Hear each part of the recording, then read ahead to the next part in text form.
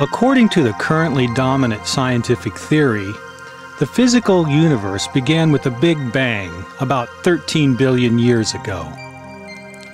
A singularity, smaller than the proton of an atom, exploded as an enormous fireball.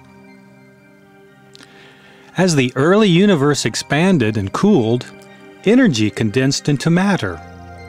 Over billions of years, the dust of creation clustered into stars and swirling galaxies.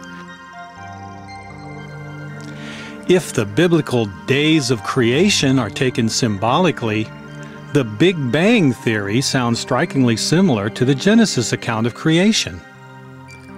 In fact, when the Big Bang Theory was first proposed, many mainstream scientists were hesitant to even consider it, fearing that it could be used to support a religious or spiritual view of creation.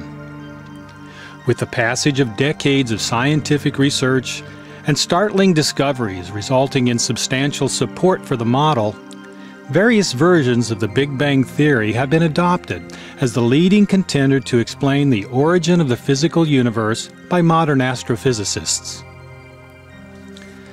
At a conceptual level, by definition, the singularity that initiated the Big Bang infers oneness and unity.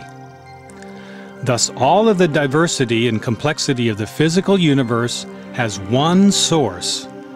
From the one comes the many. This is a theme of many of the major religions that have developed through the millennia. The Cayce readings strongly endorse the theme of oneness and unity as the source of all reality, including the physical universe.